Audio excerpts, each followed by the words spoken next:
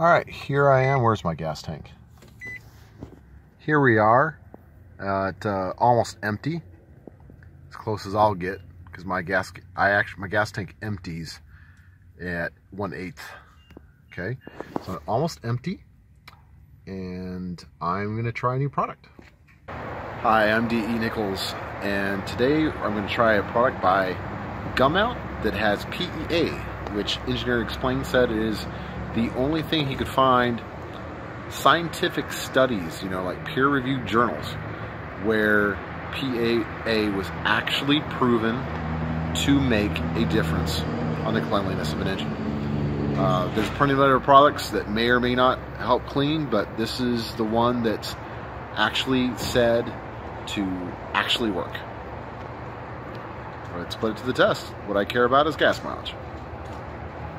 AutoZone has it uh, buy one get uh, half off at the moment.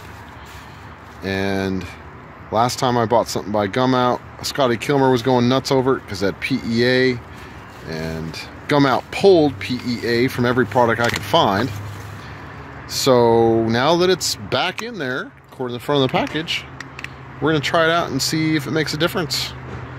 To me, uh, I'm not going to do ChrisFix pull the spark plugs and show it. I'm going to test it with my gas mileage. I check my gas mileage every time I fill up, the entire time I've owned my car, except for a couple mistakes where I forgot to reset the odometer. So I'll have a really good idea if this makes any difference. And just you know, while I'm running this test, I'm pausing my use of TCW3 or Marine Premium Plus semi-synthetic. There'll be just a little bit in there, but hey, that's okay. So let's let her rip. I'm just reading the back to make sure I follow the instructions. And it says fill up with 19 gallons of gas. I have about 15 gallons that I can put in, so I'm gonna put like three fourths of it in.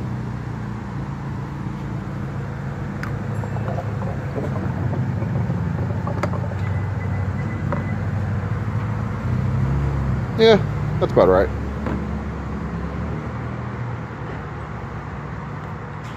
Okay, now I'm going to gas up with regular at Shell like I always do because it's next to a Walmart and I'm lucky that I get Shell at great prices. Most places I've lived, Shell was very, very expensive. But not here because they wouldn't be able to sell gas being next to the Walmart.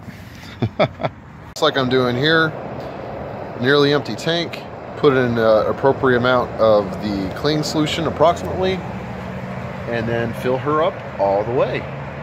It's made it a bit wrong, so we have a tad bit more cleaner than we should for how many gallons I put in there.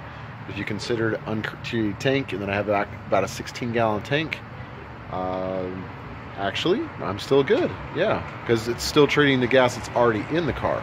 The point is just to have it about empty when you fill it up.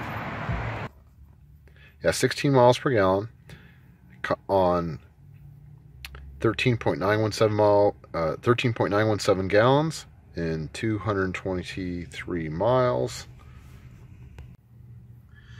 So that's pretty good, right? Um, 16 miles per gallon. I get very consistently sub 16 slightly, maybe 15.9, maybe 16.1, occasionally 16 and a half if I'm lucky. But essentially, since I'm getting the same results every time, because I have a very similar routine for driving to and from work, I have a close expectation of what should happen. I'm not going to change my driving. I'm going to forget I put this in the moment I did until the next gas up. I don't worry about it until I get there. So uh, it's uh, as close as a scientific test as it can be. Uh, in the case of one. Obviously, uh, more people, more cases is better.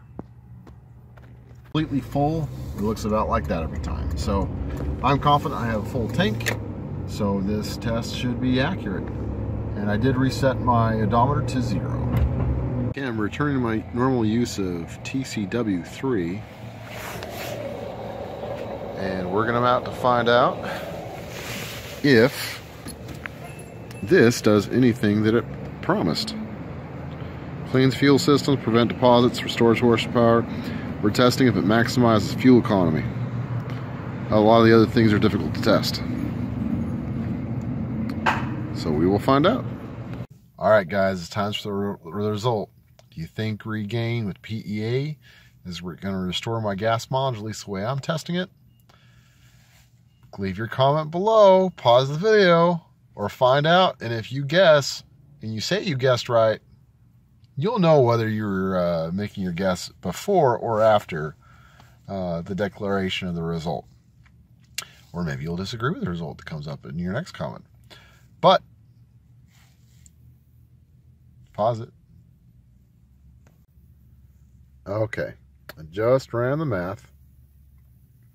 And on 12 gallons and 197 miles, and then taking into account for significant digits, I got 16.4 miles per gallon using the Regane.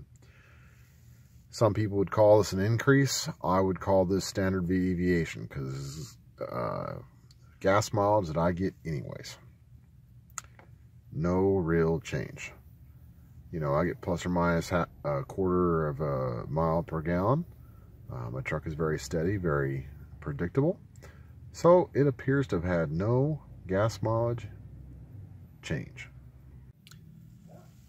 I'm D.E. Nichols. Appreciate you taking the time to watch my video. Please like and subscribe. I will be sure to put up a related video up here. Super related video, like the other product that you saw me use. And another video here is what Google's going to recommend, but I suggest you poke me in the eye right here on the screen, and that's a way to subscribe. So get out there and work on something.